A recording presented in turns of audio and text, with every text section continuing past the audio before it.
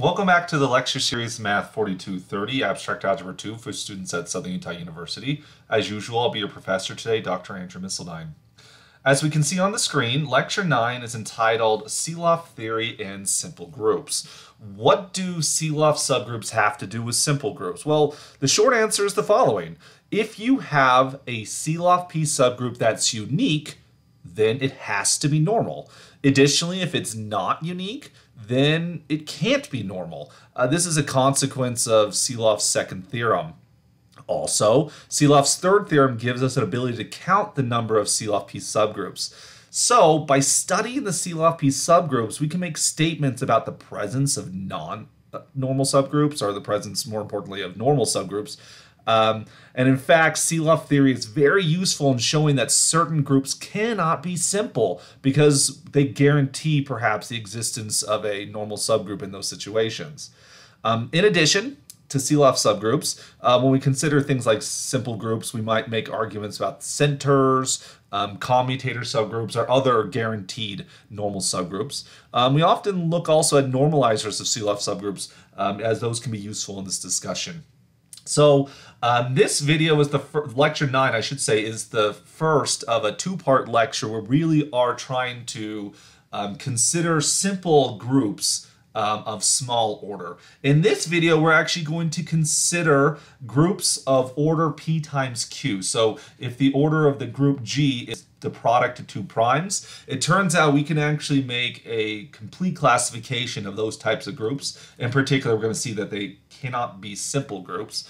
Um, and so that's what we're going to do. So the first thing to, in that goal is actually presenting a lemma. So this lemma we could have done some time ago. We just haven't needed it until now. Suppose G is a group uh, and H and K are normal subgroups of G such that H intersect K is equal to 1. That is, it's the trivial group, subgroup. And the product H times K is equal to G. If those three conditions are satisfied, then it turns out that G is in fact isomorphic to H cross K. And our strategy of proof here is we're going to argue that G is the direct, the internal direct product of H and G excuse me, H and K in this situation, for which to be an internal direct product, we need that the Frobenius product of the two sets, H and K, is the whole group. We need their intersection is trivial. We also need that they centralize each other. In other words, for all elements H inside of H and all elements K inside of the subgroup K, we have that HK equals KH. And so that's going to be the plan of attack we, we take here. So we have to argue that the normality of these two subgroups um, forces the the elements centralizing each other. Now, before we jump into that, I do want to kind of mention what does this have to do with groups of order p times q? Well, the idea here is that by Sylow's first theorem, we're guaranteed subgroups, you know, these, these maximal p subgroups, a maximal q subgroup, the Sylow subgroups, right? Um, for which, as their orders are different powers of primes, um, Sylow subgroups for different primes necessarily intersect each other in a trivial manner. Okay? If you have only two prime divisors, then it means the product of two Sylow subgroups of different primes will be the whole group. So yeah, if you have only two prime divisors, then Sylow's first theorem guarantees these two conditions. Now, like we mentioned before, if the Sylow subgroups are unique, they'll be normal. And so under many situations, if you only have two prime divisors, we pretty much have to have a direct product. Of course, there's other options, but that's that's what we're considering in this situation. All right, so why um, do the elements of H and the elements of K centralize each other? I'm not saying H is abelian, I'm not saying K is abelian, but I'm saying that our assumptions guarantee that they will commute with each other. Well, since H is a normal subgroup, it's closed under conjugation. So in particular, if I take the element H inside of H and conjugate it by an element from K, that has to fall back inside of H since it's a normal subgroup. So let's say that K, H, K inverse is equal to H prime for some other element, um, H prime and H. Well, similar argument applies to K. It's a normal subgroup. It's closed under conjugation. So if I take the element K here if you conjugate it by the element H inverse. Notice the inverse is on the other side now. This one had K and then K inverse. This one has H inverse then H. That's still okay. I mean, it's still a conjugate of K. Um, because K is a normal subgroup, this falls inside the subgroup K, and therefore there's some element inside of the subgroup K, call it K prime, so that H inverse KH is equal to K prime. Okay, so now I want you to consider these products right here. So take this first equation. If I times both sides of the equation on the right by k, you're going to get that kh is equal to h prime k, uh, k like so. And then if we take this equation right here, if we multiply on the left of, on both sides of the equation on the left by h, we're going to get that kh is equal to hk prime. And clearly KH is equal to each other. So um, let me slide down a little bit. So the observations here is that, of course, KH is equal to H prime K, KH is equal to H K prime. Clearly KH is equal to itself. So in particular, these two things are equal to each other. That's what we want right here. We get that H K prime is equal to H prime K, like so. Now again, playing with this equation, if we multiply both sides of the equation by h prime inverse, h prime inverse, right, that gives us h prime inverse h k prime is equal to k. We're then going to multiply both sides of the equation by k prime inverse on the right, k prime inverse, so that these cancel out. And then we're left with the equation that h prime inverse is equal to k k prime inverse. Of course, if you take the inverses, I, I did a little bit different here in my notes. If you take the inverse of this, um, you actually get instead the equation h inverse h prime is equal to k prime k inverse, equivalent equation. Uh, they imply each other. And so in particular, what I'm trying to say here is we have right here this h inverse h prime. That those are elements of H, right? H and H prime are inside of H, therefore H inverse is inside of H. Their product is going to be inside of H. This element right here belongs to H. But then when we look at K prime K inverse, same argument. That's going to be an element of K. So this element, let's call it X for a moment, X can be factored as H inverse H prime. It could be factored as K prime times K inverse. Though that's an element in H, it's an element in K. Therefore, this element belongs to H intersect K, but by assumption, this is trivial. So X is equal to the identity. Well, if H inverse H prime is equal to the identity, we could times both sides on the left by H, and we get that H and H prime are actually the same element. Right? Same thing here k prime times k inverse has to equal the identity. So if you times on the right by k, you end up with k equals k prime. Um, and so therefore, these elements are the same thing. So come up to the original equation. Well, not the original equation, but come up to this equation. We have that kh equals hk prime. But k prime is equal to k. So this gives us that kh equals hk. And as K and H were arbitrary elements of the two subgroups, we see that they centralize each other, and therefore, by a previous theorem, we've proven that this would be an internal direct product. Therefore, G is in fact isomorphic to the direct product of H and K. All right, so with that lemma out of the way, now let's talk about groups of order p times q, where in this discussion, p and q are distinct primes, um, we can assume that Q is the bigger prime than P. I mean, clearly one's bigger than the other, so let's just say Q is the bigger one in case it ever matters. Um, and so let's now consider G to be a group of order P times Q. Um, my claim in this theorem is that G necessarily has a normal subgroup of order Q. By Sylow theory, if that subgroup is normal, then it was actually a unique Sylow Q subgroup.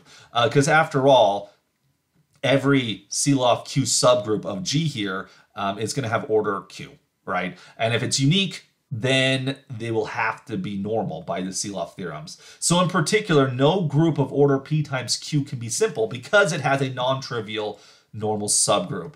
And then furthermore, if it turns out that Q is not congruent to 1 mod P, then in fact, in that situation, G must be a cyclic group. So it's not just it's not simple, it's it's not I mean, it has to be abelian, it has to be cyclic. We can say a lot about those things. All right. So for the sake of this proof, let the number n represent the number of Sylow Q subgroups. By Sylow's third theorem, we know that n divides the order of G and has to be congruent to 1 mod Q. Well, since n is congruent to 1 mod Q, it actually, we can refine that a little better. It's not just that n divides G, it actually has to divide um, the portion of G that's not divisible by Q.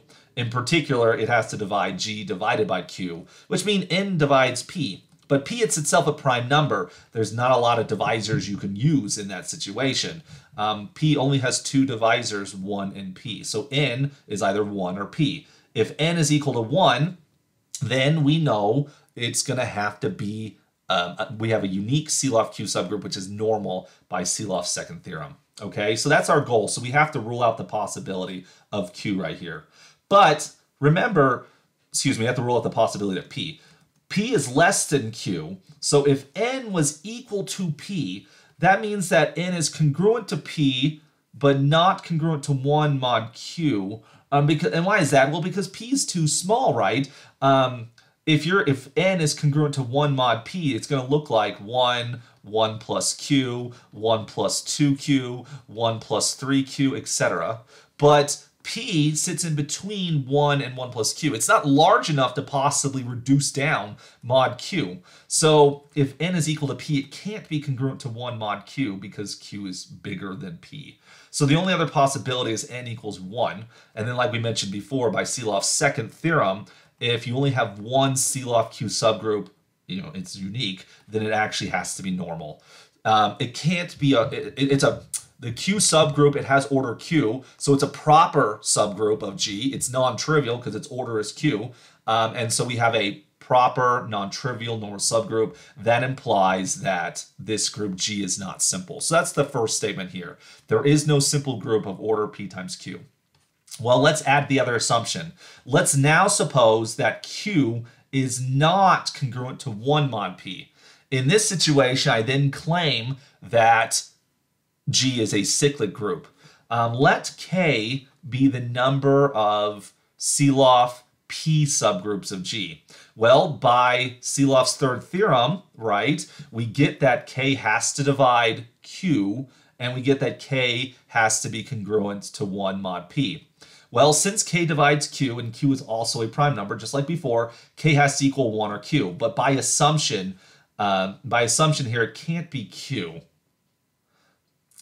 because Q is not congruent to 1 mod P, which if K was equal to Q, that, that would be a problem, right? So that then forces that K is equal to 1 as well. So we get a unique Sylow P subgroup, all right? So under our second assumption here, our group G has a unique, it has a normal Q subgroup, it has a normal P subgroup, Sylow subgroups for both of them. Well, because the Sylow P subgroup has order P, it has to be isomorphic to ZP. Every group of prime order is cyclic, so it's isomorphic to ZP. The Sylow Q subgroup, because it has order Q, has to be isomorphic to ZQ in that situation. I should also mention that we satisfy the conditions of lemma 1521, which we did earlier in this video, right? Um, we have these unique Sylow subgroups. So H is basically ZP, um, K is equal to ZQ. Uh, both of these are going to be normal because they're unique Sylow P and Q subgroups respectively. Um, their entire, the, the product of these two has to equal G because if we consider their orders, um, these are both equal to PQ. The, the product HK is not necessarily a subgroup in general, but it is a subset of Q, but it's a subset that obtains the cardinality of the whole set. So because the product HK is, has size, cardinality PQ, it's got to be all of G. Um, so we get that HK is equal to G. And then also considering orders, H intersect K is trivial because the intersection here by Lagrange's theorem, we need a divisor, a common divisor of P and Q as they're both primes, that has to be 1. Um, so the, the, the conditions for lemma 15 to 1 were satisfied. So we see that G is in fact the direct product of ZP with ZQ.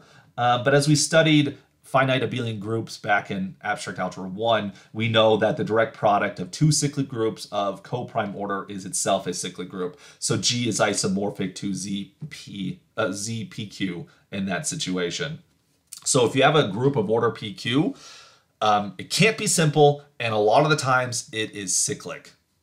I want us to look at some examples of this, okay? Consider a group of order 15. Notice 15 factors as 3 times 5. It's a product of two primes. It can't be a simple group. And notice that 5 is not congruent to 1 mod 3. 5 is actually congruent to 2. Um, so by theorem 2-2, which is we just finished proving, um, any group of order 15 has to be cyclic. Therefore, there is only one group of order 15 up to isomorphism, and it is the cyclic group. So notice what we've done just now. We have a classification theorem. We can then say something about groups of order 15. There's only one of them. It's the cyclic group. All right, I want to then look at a different uh, different order. Let's look at 14. Um, it's also a product of two primes. This is often referred to as a semi-prime, right? It's a product of two primes. These are very important, and you know, not just in algebra, but in number theory, cryptography. Uh, let's take a product of two and seven this time. Well, notice that in this situation, um, clearly 7 is too big, so you're going to have to have a normal Sylow 7 subgroup. That was the whole, that was the main argument of the previous theorem, right? Seven's too big. But we could have multiple Sylow 2 subgroups, right? So if n sub 2 is the number of two subgroups, it has to be congruent to 1, uh, right? It has to be congruent to 1 mod 2. But that just means n2 is an odd number, it has to also divide 7. So we have as a possibility n2 equals 1 or 7. So you could maybe have 7 Sylow 2 subgroups. Each of those Sylow subgroups has to look like Z2, just like the unique normal Sylow 7 subgroup has to be Z7. So is there a way we could combine these together that isn't necessarily cyclic? Maybe it's not even abelian, um, because by the finite, the fundamental theorem of finite abelian groups, the only abelian group of order 14 is Z2 cross Z7, which of course by reason earlier reasoning in this same video, that would have to be uh, Z14. So the only abelian group of order 14 is the cyclic one, but could we get a non-abelian one? Well, if we have different Sylow, uh, 2 subgroups, they're not normal, which means you can't be abelian. So yeah, that's, that's the case we're trying to consider right now. So let's suppose we have this unique Sylow 7 group, but we have seven Sylow 2 subgroups. And all of these Sylow groups, of course, are cyclic order 2 and order 7, respectively. So I want us to consider the elements of order 7 for a moment, because after all, Z7, it contains the identity, but the other six elements of that group are necessarily going to be elements of order 7. These are elements of order 7. Um, of course, we have the identity right here. I also want us to consider the seven Sylow 2 subgroups. Each of those subgroups contains exactly two elements. One is the identity, one is an element of order 2. Um, so if we go through all of these seven uh, Sylow 2 subgroups, each of them contributes an element of order 2. And so we have uh, seven elements of order of order 2, excuse me. Let me look that, make that look more like a two. So I want you to consider the elements we have so far. We have one identity, we have six elements of order seven, we have seven elements of order uh, 2. And if we add those together, 1 plus 6 plus 7, that's 14. So under these assumptions where we have one Sylow 7 subgroup and we have seven Sylow 2 subgroups, that accounts for all 14 elements. So there can't be anything else in this group. There's only 14 elements. Okay? So let's call one of those elements of order 7, let's call it R, and let's call one of those elements of order 2, let's call that um, let's call that S, okay? Uh, and so let P be a Sylow 7 subgroup. It's necessarily normal. And so if we were to take the element R, right, um, which lives inside of P, and we conjugate it by S. Because P is a normal subgroup, it's closed under conjugation, so SR S inverse belongs to P. But as P is a cyclic group, um, SR S inverse belonging to P means that it's inside of capital P. It, there's some power of A so that SR S inverse is equal to, to R to the A. Again, for some integer, some integer A right there, which of course it's unique up to modulo 7. All right. Now, what if we conjugate it again? right? If we take R and you conjugate it by S, then you conjugate it by S again. I want you to remember that S is an element of order 2. So S times S is just the identity. S inverse times S inverse is just the identity. So if you conjugate R twice by, by S, you just get back R. But if you conjugate it once, you get RA. And if you conjugate it again, you're going to get A again, because this is a power of R. And so this is going to give you R to the A squared, like so. All right. So R raised to the power A squared gives you back R to the first. And so because of this, um, how what does this say about the power? The power here is going to have to be, um, we're going to have to have that A is co-prime to 7. A belongs to 7, uh, Z7 star. I mean, that's what we get from this relationship here, which of course, um, that as a group you know z7 star is a multiplicative group. It is an, it's a cyclic group of order 6 and so it's isomorphic to the additive group z6 in that situation. Um, but in particular is in particular we also know that a has to have order 2 inside of z7 star because of this relationship right? That's what we're trying to get at here and so there's only one element of order 2 inside of z7 star that's actually the element um, a6 a is equal to 6, that is, or negative 1 if you prefer. So when you take r and you conjugate it by 7, you actually get r to the 6th, or maybe better, we look at it as r to the negative 1. Now you're going to start to see why I labeled the things as r and s in this situation, right? Because R is an element of order 7, S is an element of order 2, and when you conjugate R by S, you get R inverse. That sounds like a group we've seen before, but bing, that's right. Our group is none other than the dihedral group, D7.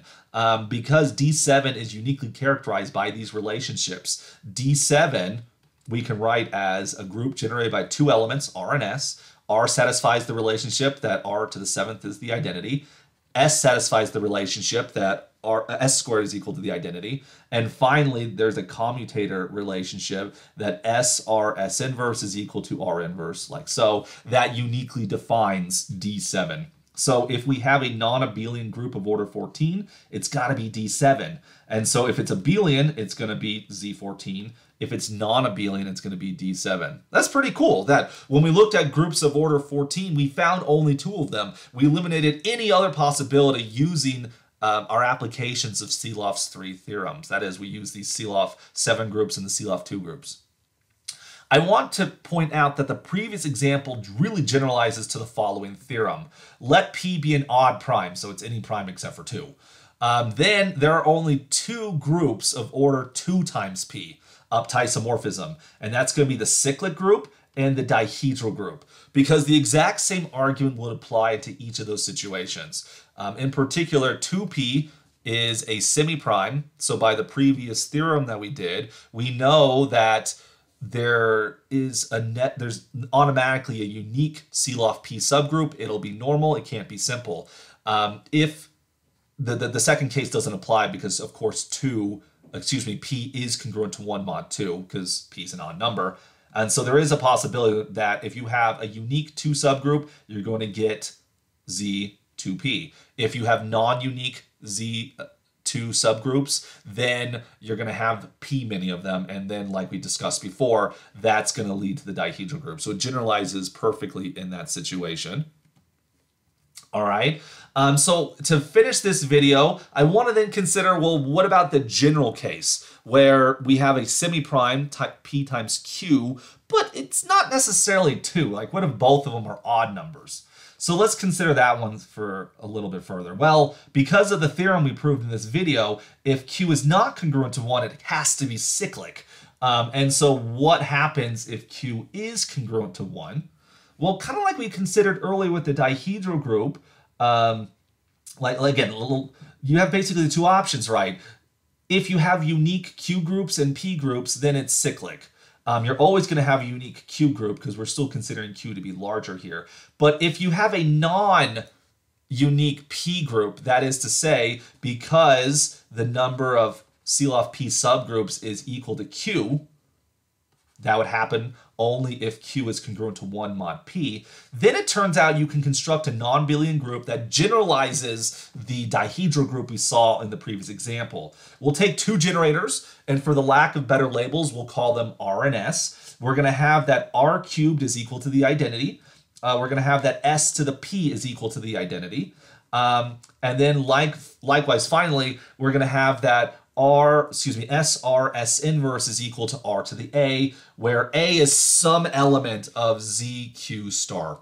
Um, in particular, the order of that element A is equal to P. But since Q is a prime number, this group right here is congruent to ZP, excuse me, ZQ minus one, like so, for which it has a it has a unique subgroup of order P because we are assuming by by this assumption right here, this is equivalent to saying that P divides Q minus one, right? Um, this as a cyclic group has a unique subgroup of order P. And so basically A has to be a generator of that subgroup. And it really doesn't matter which one you choose because choosing a different generator up to isomorphism is not going to make any difference on this group whatsoever. Uh, that is this group, uh, this group right here will be isomorphic to it. Okay, and so that's what happens here, that when you conjugate R by S, you get a power of R, and that power of R is an element of order P in the automorphism group. Again, that's something to be significant of this right here. This ZQ star, this is the automorphism group of ZQ, like so. And this leads to the idea of what's called a semi-direct product, that this semi-direct product ZQ semi-direct product. So it's like an X, but there's this little line in here. It's like an amalgamation of the direct product symbol with the normal symbol here, the normal subgroup. Uh, because in this situation, ZQ is always a normal subgroup of the whole group here. Um, in this case, we have a cyclic group, semi-direct product. A cyclic group is a lot easier to describe in that situation. But we take everything over here, everything over here, um, but how do things between the two groups interact with each other? With an internal direct product, they just centralize each other, they just commute with each other. But if you unravel this right here, this is saying that SR is equal to S, uh, excuse me, R A S. So to commute R with S, you look at an automorph of R, A to the R. And so in general, in general, if you have, if you want to take the semi-direct product of H with K right here, what you need is an automorphism. You have some type of homomorphism, in fact, from K into the automorphism group of H. And so then you have the relationship that if you have H, uh, excuse me, if you have K times H, so K is something in K right here, H is something over here, then this becomes phi of K of H times K right here, which this can get a little bit confusing right here because phi of K is an automorphism on H, and so therefore this is the automorphism acting, acting on H. Because of this notation, it's often written in the following form. You have H to the K times K, like so. So what does this mean right here? This means the image of H under the automorphism associated to the element K for which when you have a cyclic group, it's always a power like this. So H will map, excuse me, R maps to R to the A. And so this gives us a complete a complete characterization of all of groups of order p times q. If you have a group of order p times q, you get only two subgroups up to isomorphism. You get the cyclic group, and if there's an automorphism available, you can get a semi-direct product, such as the dihedral group. Um, but in general, if there's no if there's no automorphism available, then you only get a cyclic group, like in the case of a group of order 15. Um, these semi-direct products are very important when studying um, finite groups. And of course, we showed up in this situation, showed that groups of order p times q can sometimes have a semi-direct product, such as the dihedral group. Uh, we can generalize essentially the dihedral group using this idea of a of semi-direct product when you have a cyclic group, semi-direct product, a cyclic group. This is what's known as a split metacyclic group in case you like to hear jargon like that. Metacyclic is suggesting it's actually the product of two um, of two cyclic groups, and the split here is actually suggesting it's a semi-direct product of two cyclic groups. For a group of order p times q, you always you only get this or the direct product. But I should also mention the semi-direct products, which generalizes this idea of a direct product. We've seen in the past, like in an Algebra 1, when we talked about the Euclidean and the affine groups, uh, for certain matrix symmetries. Uh, those, in fact, were semi-direct products there as well.